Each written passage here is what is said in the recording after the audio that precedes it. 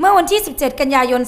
2558 พลเอกสุรยุทธ์จุลานนท์องคมนตรี เป็นประธานในพิธีมอบความช่วยเหลือพระราชทาน ในโอกาสที่พระบาทสมเด็จพระเจ้าอยู่หัว และสมเด็จพระนางเจ้าพระบรมราชินีนาถทรงพระกรุณาโปรดเกล้าโปรดกระหม่อม พระราชทานความช่วยเหลือ แก่ครอบครัวนางศรีสุดาแซ่ฟู่ ราษฎรอำเภอเมืองนราธิวาส เป็นทุนสนับสนุนการดำรงชีพ ทุนการศึกษาต่อเนื่อง และสิ่งของพระราชทาน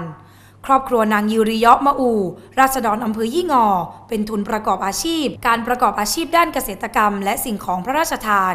ครอบครัวนายอิสมาแอลอุมา และครอบครัวนายยามะกะ ราษฎรอำเภอยี่งอ เป็นทุนสนับสนุนเกี่ยวกับที่อยู่อาศัย และสิ่งของพระราชทาน ซึ่งได้ทุนกล้าวทุนกระหม่อมถวายดีกา ขอพระราชทานความช่วยเหลือ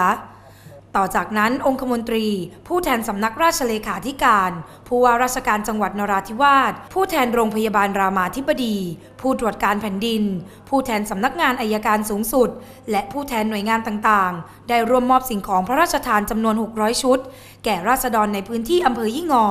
และมอบพระบรมฉายาลักษณ์พระฉายาลักษณ์ หนังสือ และอุปกรณ์กีฬา แก่ผู้อำนวยการโรงเรียนจำนวน 5 แห่ง ในอำเภอยี่งอ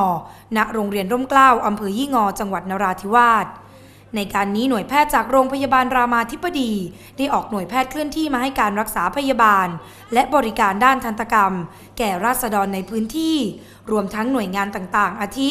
สำนักงานผู้ตรวจการแผ่นดิน สำนักงานอายการสูงสุด ได้มาร่วมให้บริการด้านกฎหมาย และให้ความรู้แก่ประชาชนในพื้นที่ เพื่อถวายเป็นพระราชกุศลด้วย